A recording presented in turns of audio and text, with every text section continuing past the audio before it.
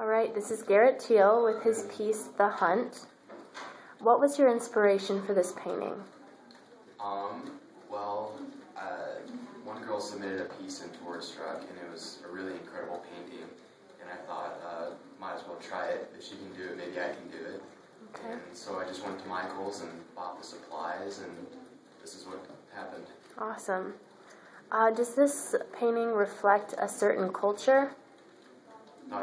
Not at all. Okay. It is just, I've been in a tribal mood lately. I wrote my narrative piece about an Indian boy, and so I think they're kind of closely correlated. Okay. Uh, can you explain your color choice and image choice? Uh, I definitely wanted to do warm colors, so I tried to get all the warm colors that I could on it. Uh, the yellow here is actually crayon art. It's melted crayons. I used my mom's hair dryer. Awesome. Um, last question. If you could change anything, uh, would you change anything? Um, I don't think so. It, Okay. it just happened. Awesome. Thanks for your time, G.